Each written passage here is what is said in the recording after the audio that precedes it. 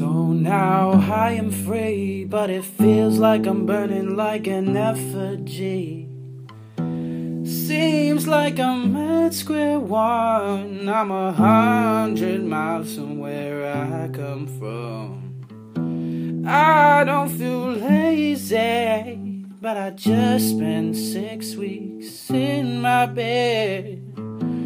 Thought I'd be happy, but I'm just trapped here feeling the same instead. I know I got soul, but I'm hopeless.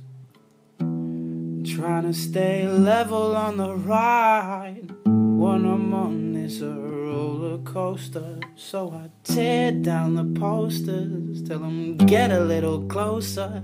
I don't want the exposure, I just want the composure.